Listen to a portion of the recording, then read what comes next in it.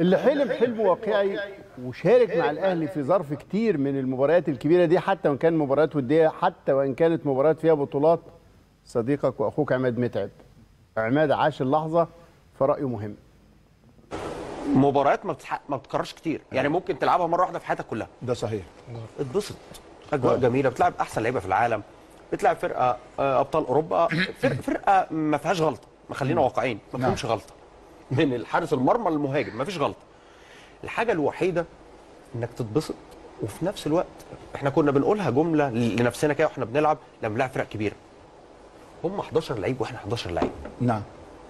اخرج من الملعب كامل 11 لعيب زي ما أنت. وابقى راجل. داخل الملعب. فنيا بقى ممكن يكون هو مش في يومه انت موفق تقدر تخطف هدف تقدر ت... في حاجات داخل الملعب تقدر تعملها. نعم. في فروقات فنية؟ آه في فروقات طبعاً، فردية آه. طبعاً. ده كله موجود. زي ما قال موسيماني الضغط عليهم. آه. مش على النادي النادي الأهلي ما عملش أي ضغط خالص.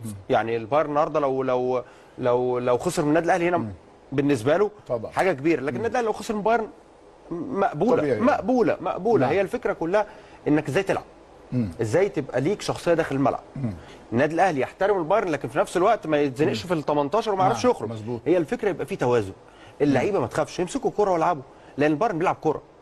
العب كورة زيك زيه. طبعاً. هي الفكرة بقى الغلطات الصغيرة مش مسموحة مش مقبولة صحيح. مع الفرق الكبيرة. مش وقتها بالظبط. ابدا على الإطلاق كابتن متعب بقى ده ملك الواقعية وأنا متفق معاه في كل مقاله. يعني آه إيه، بيقول لك فرقة ما فيهاش غلطة. يعني تقريبا ما فيهاش غلطه والناس اللي قالت خط دفاعهم ضعيف ده مسألة نسبية. يعني زي ما تكون تكون بتشوف واحد بطل كمال أجسام وتقول لا رجليه مش زي إيديه. لكن الاثنين جامدين. فيعني آه أنا متفق مع اللي قاله متعب تمام. طيب 11 الشخصية. 11 دي برضو مهمة. آه. يعني حتة نفسية حتى النهارده أنت بتلاعب الشخصية قال لك المهم تبقى بشخصيتك. آه.